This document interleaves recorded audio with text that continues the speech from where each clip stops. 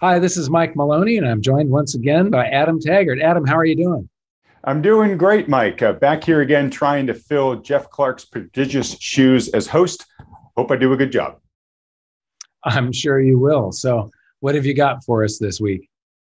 Well, we got a lot going on here. Um, we got our story of the day, tweet and charts of the day, and an excellent meme. So stick around for that, folks. But let's get started with the story of the day, Mike, which uh, this week is about what's going on in housing. Um, a couple of really interesting articles here, um, but largely we're seeing that the uh, a, a, unprecedented number of people who are selling their homes into this market are not buying new homes as a result.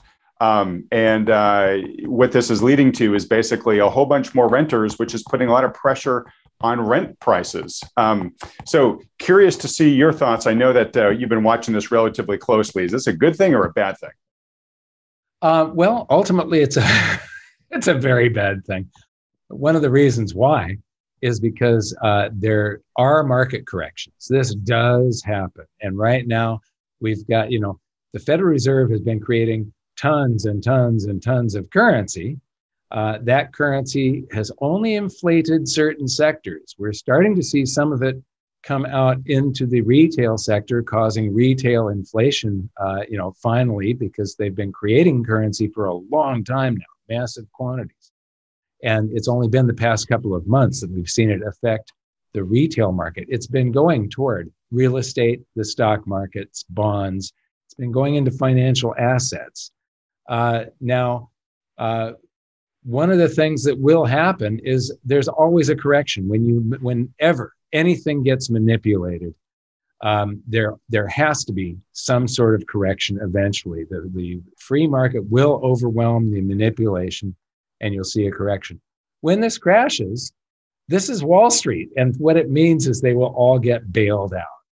And how do you th- this is huge. This is in the many hundreds of billions of dollars uh, and so the bailouts are going to have to be performed by creating more currency. I don't uh, see any place where they can just take the currency from. This is currency that will have to get whipped up out of nowhere to bail out uh, BlackRock and all of these other uh, funds and so on that are buying everything up. Um, so, in the short term, uh, it's bad for uh, the consumers uh, because it's driving up the prices of homes. So if you own a home and you're selling it, you can make a profit. But then if you go to rent somewhere, your rent is going to be going up quickly along with the price of these homes. And if you try to buy another home, you had better find a place where the bubbles haven't started yet. But you know, toward the end of the Weimar hyperinflation, everybody got war- rewarded for rampant speculation. And it was the, the people with the nuttiest uh, ideas, that stuff that would not have worked uh, before their central bank started creating massive amounts of currency. Stuff that would not have worked turned out to be the thing with the greatest wealth transfer toward these hucksters and jokesters and people that were taking the public for a ride. What's your take on it? Well, when I asked if this was a, a good thing or a bad thing, that was a leading question because obviously I've got an opinion on that. I agree with you that it's a bad thing. And it really comes down to, to two things it comes down to uh, an affordability crisis, and it comes down to a loss of control and freedoms. And uh, you did a good job of explaining, you know, all this money that's sloshing into the system is unfairly going to the parties that are buying up all these uh, these rental housing units. And year over year, we've seen the price of single family homes increase by 24%, uh, which is ridiculous. I don't know many households that can deal with a 24% increase in a major budget item like, uh, like housing. Uh, now, rents haven't necessarily gone up that much, but they are certainly going up um, because, in many cases, uh, the price of a house is supposed to be somewhat correlated to the income stream that you, you can rent it for. Um, and as we have in more and more of these people who are selling their homes and not buying uh, a house, that's increasing the pool of renters, and that increases uh, the demand, uh, the rental demand for uh, a fixed supply of, of rental units, uh, and that imbalance between supply and demand puts upward pressure on rents as well. And we have uh, some data coming up that, that actually shows how that's exploded over the, the past year. Um, but so that's obviously bad for people that you know need to make rent every month. And then secondly, it's a loss of control, which is um, more and more of our housing supply is going to these massive investment firms like BlackRock and Vanguard, and it's really turning us not only into just a nation of renters uh, along the like you know you'll own nothing and be happy tagline that we're hearing about from uh, the the Great Reset, um, but it's also turning us sort of into a company store nation where you know we're increasingly going to be working and renting uh, from the same big corporate overlords. And uh, you know, once you once your house is owned by you know a hedge fund that owns, in some cases, maybe a number of the properties in the neighborhood that you live in, uh, you don't really have much recourse if you don't like the latest rental increase that they've they've put on you.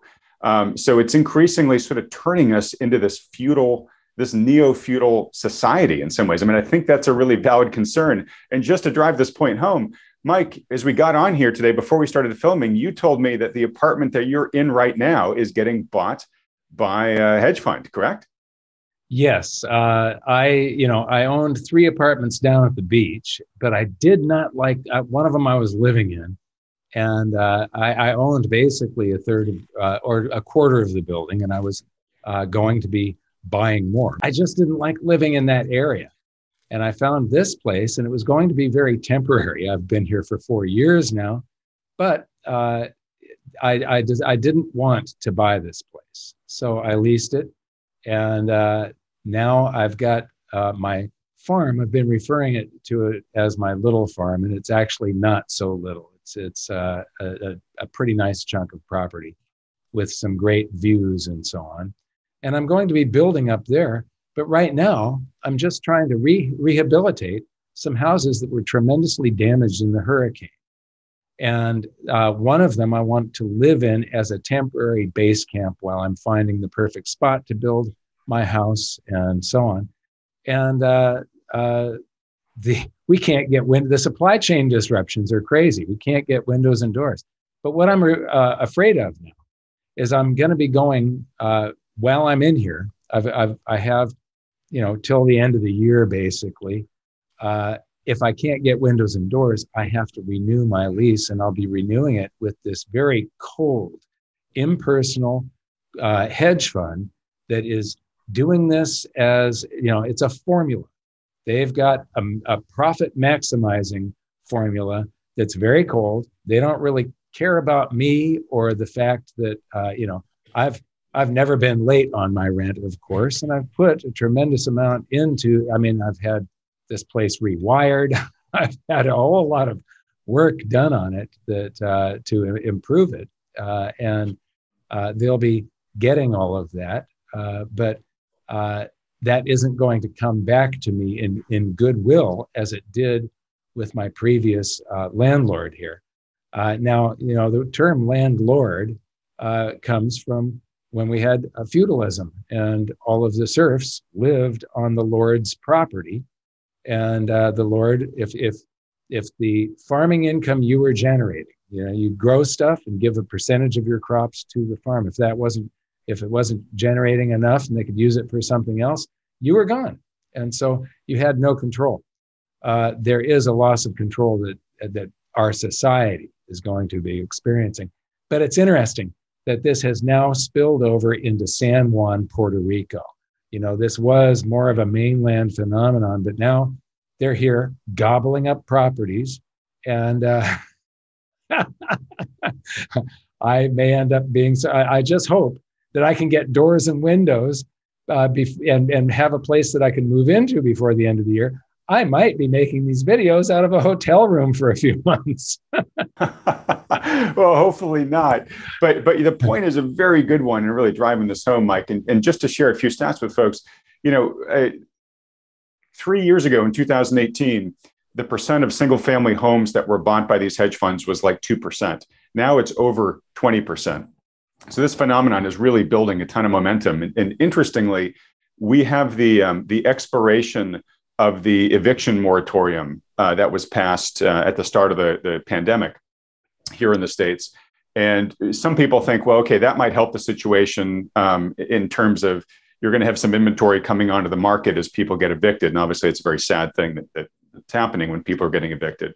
Um, but I think what makes it even more sad is it's actually going to be a bonanza for these big firms where they're going to be swooping in and purchasing huge blocks of, of new inventory as these evictions bring new houses onto the market.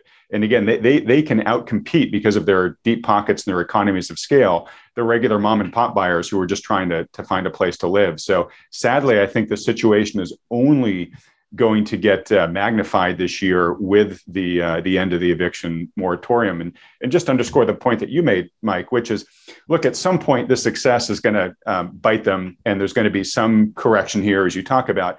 But they are highly likely going to get bailed out. So unlike regular investors, when you you know buy a home as an investment property and and things uh, the market turns on you, you know you get to take your lumps. These guys are probably not going to have to take their lumps. So um, it's just you know all the things that we rail about government intervention uh, power concentrating in, in, the wrong hands or whatnot yeah. it's it's it's just well, more one thing i'd like everybody to look at here is you know right now uh, we paid for them to do this to us through the federal reserve and the treasury creating so much currency and uh, putting that out into the markets. Now, during a if, if we have a melt up, they're going to just make a huge profit out of this. But we are also going to be when when it does correct and they do get bailed out, then we pay for it again.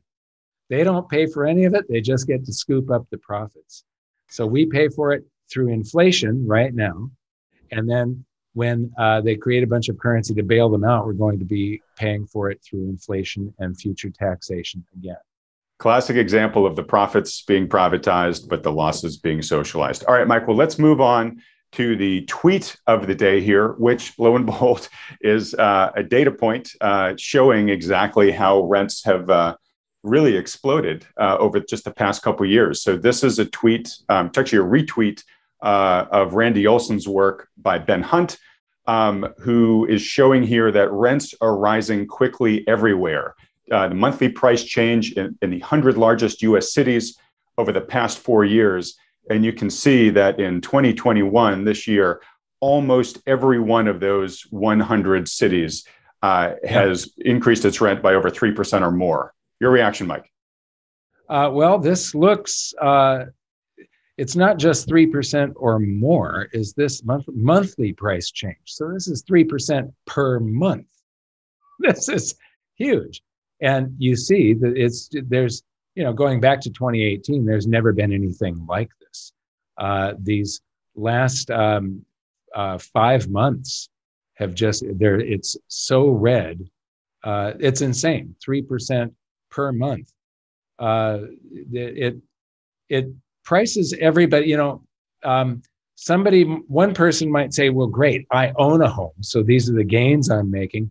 The next person is working really hard to put a couple of kids through college. And those, those two, their, his, his son and daughter need to buy a starter home. Yeah. And they'll never be able to do that. Uh, and this is caused by the Federal Reserve. Uh, and now, uh, you know, if this continues, uh, it will be all of these big funds and, and uh, investment firms uh, making all the gains out of this. If they're buying 20% of the homes on the market, uh, that is enormous. Uh, really, really well said there, Mike. Um, I think everything that we're talking about today, you know, the societal undertones of what's going to happen if this continues, uh, are just um, you know downright depressing um, you know if not just criminal. Uh, not that i know exactly how it's all going to end but um, you know we, we really are building a societal tension here with just mounting and mounting unfairness for the bottom 99% um, all right well let's move on to the chart of the day which um, uh, we'll put up the chart here but but mike you're actually going to do a full video dedicated to what you intended to be the chart of today correct yeah, uh, there's there's a, a, chart that we were going to cover, but there's a whole bunch of other charts that relate to it. So I'm going to do a separate video on that. But this chart here is one of the most brilliant that I have ever seen. you know, they got the two scales here: rabbit, duck, and you got to look at this thing and then look at it, t- twist it so that uh, the the bottom part is rabbit in, in, in the vertical scale is duck. and you can see that with some charts, you only see what you want to see.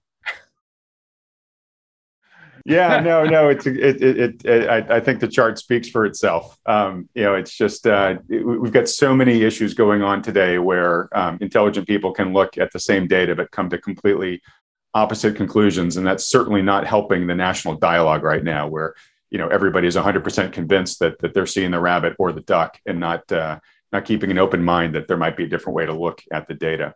Um, all right, folks. Well, look, if you are enjoying this video, please don't forget to hit the like button and subscribe to this channel. Uh, we're almost at the meme of the day, but before we get there, I just want to uh, read a little bit of subscriber feedback uh, that we've received since last week. Um, this is related, Mike, to uh, the inflation that that's been running rampant this year. You know, will it be transitory or not? Who knows? But here's what user Stacy Nodge has to say. Uh, anyone who does the regular shopping knows inflation is rampant. My Marcangelo sausages went from 10 to $12. That's 20% for the math challenged.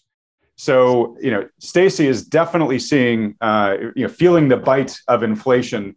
Uh, that's the result of all of the excess uh, liquidity and stimulus that uh, both monetary and fiscal that's been flooding into the system. Uh, this is not theoretical for folks anymore, Mike. It's really hitting them in their pocketbooks. What's your reaction? Uh, yes. Well, you know, one thing I noticed was that during the height of the lockdowns back in early 2020, mid 2020, um, beef, the, the grocery cost of groceries didn't go down. It didn't deflate, even though velocity slowed, the economy slowed. Uh, um, you know, prices of uh, real estate and rents probably went down. I don't have that data in front of me right now. But uh, the prices at the grocery store, you know, I, I take a look at, um, at, at beef and how much it costs per pound for a New York steak or a ribeye. And uh, uh, what I noticed was that it was flat during the uh, height of the lockdowns and then suddenly jumped 20%. Uh, it, you know, th- that 20% has stuck. It, it isn't uh, going down.